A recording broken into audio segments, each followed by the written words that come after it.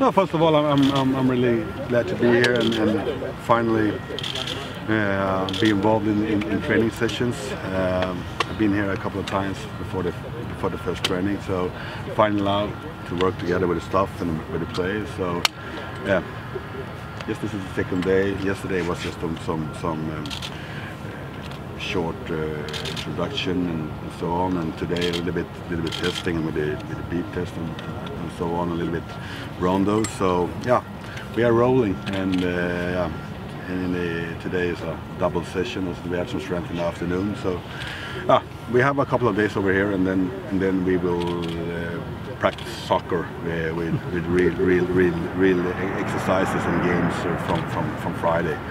And we will have an open training here uh, 12 12 o'clock uh, Saturday after uh, Saturday noon, and and then. Um, next week we're going for the, for the, for the training camp. So no, I'm really excited. Uh, it's always fun to be a part of a new team, and, and yeah, I'm really happy to be here and work with together with the, with, with, with, the, with the staff and the players and, and with you guys.